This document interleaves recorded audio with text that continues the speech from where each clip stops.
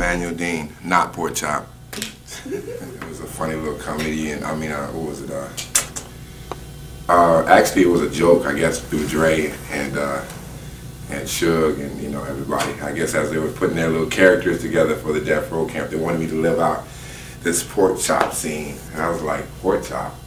Now you know what Dr. Dre looked like, right? Everybody know what Dr. Dre looked like. He cool, one of the world's most talented people, but it's like calling him Mr. Potato Head.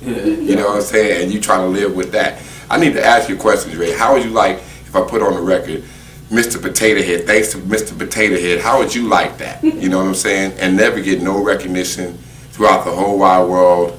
You know what I'm saying? Just a couple of handshakes at the bar, you know what I'm saying? We're, we're uh, alone, but as far as the worldwide credibility, why couldn't it be Emanuel Dean instead of Pork Chop? That's what I would have really loved, you know what I mean?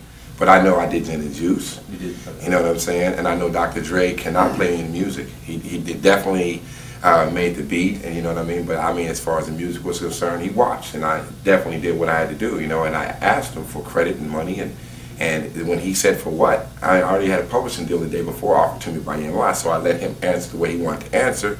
And when he said, for what? I said, okay, cool. Right then and there, I was like, okay, I'm going. I'm going to go with EMI. I so the next day I came back to him and I told him, you know what? It was on a Tuesday. I was Monday when I talked to him. It was Tuesday the next day when I came back to him. I said Friday's my last day. And you know what I mean? I think I made about probably five or six thousand dollars working with him. And I did gin and juice, and I did Snoop Doggy Dogg on the second day I knew Dr. Dre.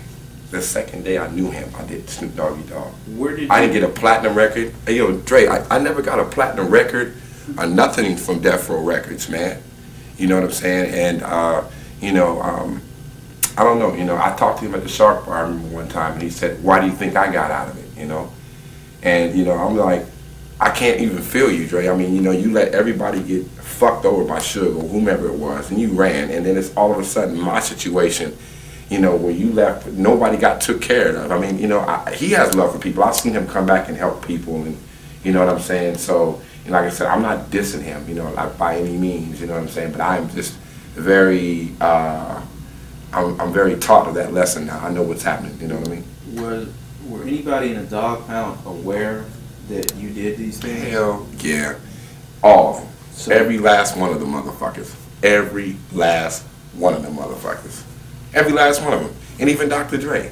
They- uh, he- Dr. Dre doesn't discredit, I guess. I don't know what happened. You know what? I remember what happened. We were at the Village Recorder. I think it was the day they were doing the album credits. He walked down the steps and he said, they fucked you on the credits. And this is a guy that said, do you want to get paid? And maybe jump in a Lexus off Venice and Vinton Boulevard. And we went skiing down the street to go to the Complex Studios, you know what I'm saying? I'm giving him all this music and doing everything he says and it's all gravy and stuff.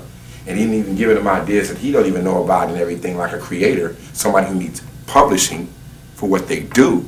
You know what I'm saying? I didn't get anything, you know what I'm saying? They fucked you on the credit sheet. That's what he said. And that's all that happened. Extra special thanks to a Pork Chop, a piece of fucking meat.